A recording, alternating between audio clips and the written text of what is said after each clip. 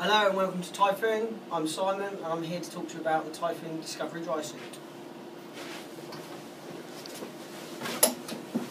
The Discovery Dry Suit is aimed at the UK recreational market. It's a membrane suit which consists of three layers. The outer layer on the suit is a hard-wearing textured nylon. The mid layer is a butyl rubber and the inner layer is a nylon scrim which aids with donning the suit. As you look at the suit, you'll also notice there's some blue panels. These are ripstop Cordura panels, so very abrasive resistance and very tough. Um, really helps against any wear of your BCD or anything you may come in contact with underwater.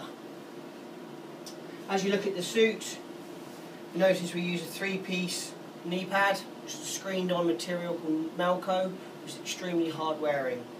The advantage of having three areas you don't get any restriction in movement and you get a good coverage on the area.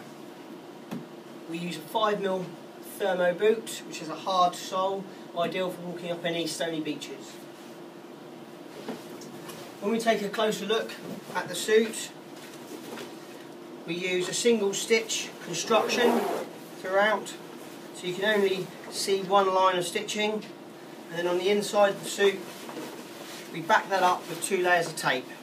The first layer is a 40mm tape, hand applied, and then the inner layer of tape is a 25mm. So you've got two layers of tape there. This gives you great longevity of a seam uh, and really helps with making the suit last a lot longer. We have a warm neck collar. The idea of the warm neck collars is you can put your, your hood down between the latex and the neoprene and it avoids any cold spots coming through. We use Apeks valves as standard and you have a choice with either auto dump as you can see here or cuff dump. The suit is also covered by Typhoon's watertight warranty, gives you three years of happy diving. For any more information, if you'd like to visit our dealer page on our website, you better find your nearest stockist to go and look at the suits. Thank you very much and hope to see you again.